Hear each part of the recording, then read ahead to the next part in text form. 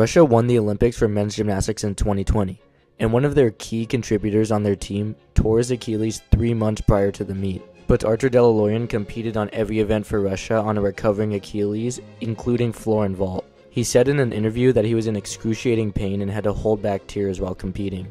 He also said he thought about pulling out of the meet, but that he knew his country needed him, so he persevered. Artur ended up earning sixth place in the all around qualifications, earning him a spot in the finals. When asked if he was going to participate in the finals, he said in English, Yes, I go, on one leg or two.